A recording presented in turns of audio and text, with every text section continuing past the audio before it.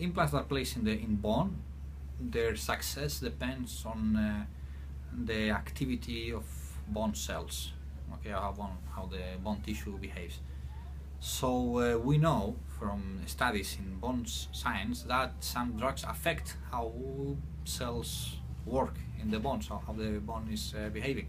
So that's how we connect the two things together. So okay, so if some drugs are affecting the way bone behaves, maybe they're also affecting how uh, these devices uh, work in the body.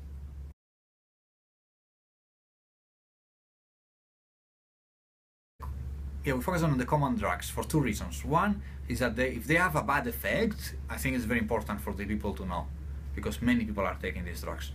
And on the other hand, if they have a good effect, these are common drugs that are usually very inexpensive. So they and they are patent off. Most of them they are already available as generics. So it means that it could they could be transformed into very cheap treatments to to manage these problems.